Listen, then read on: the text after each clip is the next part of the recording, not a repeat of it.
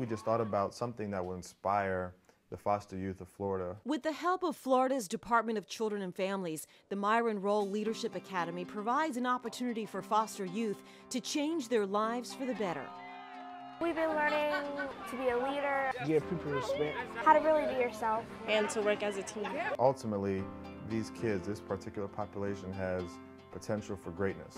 And if we help them realize that, then they're going to be the leaders of tomorrow.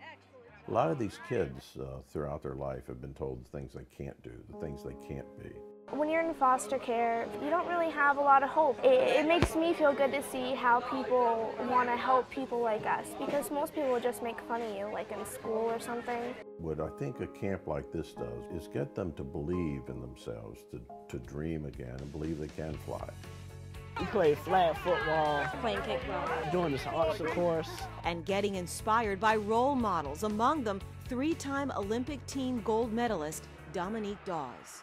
There's a lot of young people that do not have those positive role models in the home, but I want to give them some bit of encouragement to know that there are caring and loving and compassionate adults out there that want to help them, that want to see them reach their full potential. I remember a young man saying, I don't want to be here, this is boring. Third day of last year's camp, he climbed to the top of the rock wall. And, and I remember the last evening, uh, he said uh, to everybody, he said, you know, when I got here, was I, I was a loser.